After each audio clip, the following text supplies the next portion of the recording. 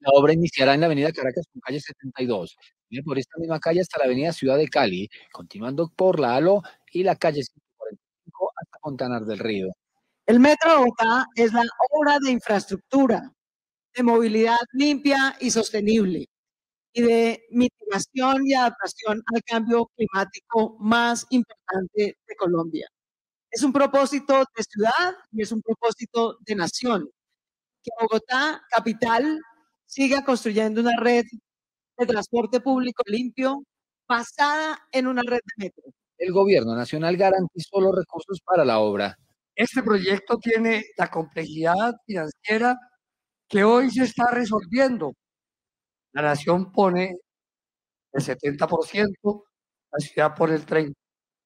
En el plan de desarrollo hay otras expectativas que va aprobado. Y puso a Bogotá como referente en temas de movilidad. Peatonalizar, mejorar transporte público, cambiar la matriz modal y sobre todo compactar el territorio.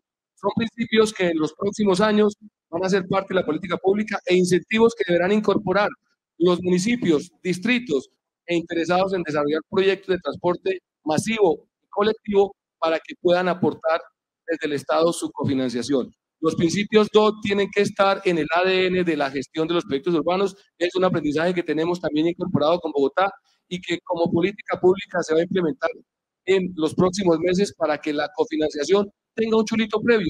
Bogotá ya lo está haciendo. La línea será subterránea y beneficiará a 2.5 millones de personas en las localidades de Suba, Engativá, Barrios Unidos y Chapinero.